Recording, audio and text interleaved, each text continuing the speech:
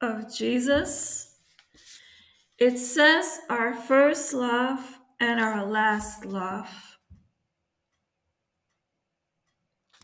I still have a lot of work on it, but um, this is also a card that I made for the deck. Jesus paid it all. And then these are like uh, prayers and verses. So yeah, so if I would say, okay, I'm gonna shuffle the cards.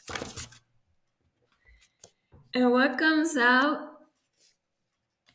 is Father God, you ask us at times to prioritize, to look at this life in the light of that which is to come, our temporary frailty compared to your eternity. The pain we feel on earth and the wholeness of heaven. It puts things into perspective.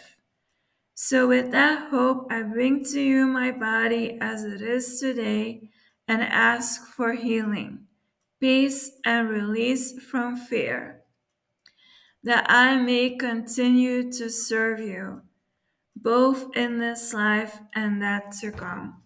And I found these texts online. So I looked up prayers for health and wholeness and I turned them into cards, and I were also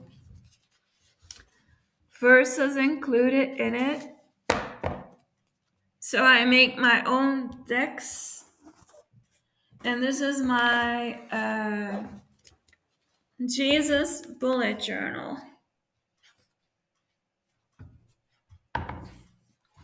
Got a picture here.